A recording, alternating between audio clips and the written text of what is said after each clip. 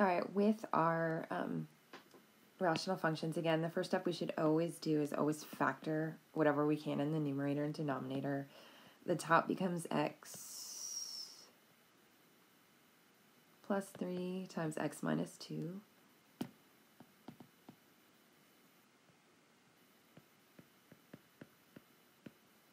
And the denominator remains at x plus 1.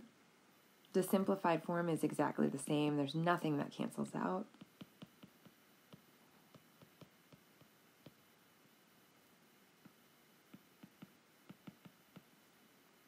We don't have any removable discontinuities. There were no um, factors in the denominator that canceled out, but we do have one non-removable asymptote. We'll solve for x plus 1 equals 0. That's at x equals negative 1, so I'll go ahead and plot that one in.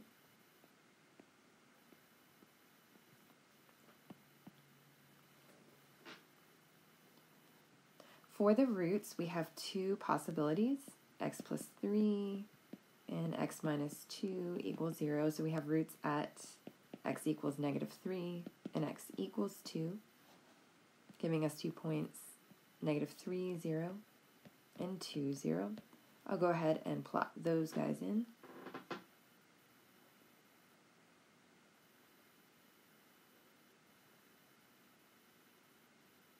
All right. For the domain, we're just going to um, put in the one break of this non-removable asymptote. So negative infinity to negative 1, union negative 1 to infinity, or x cannot equal negative 1. Either or will work.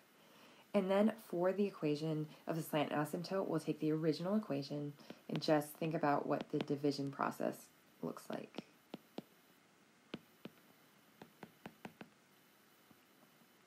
x plus 1 goes into this equation x times, so we get x squared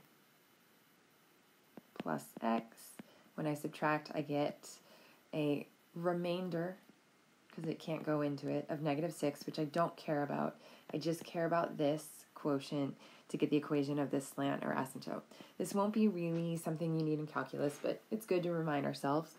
So at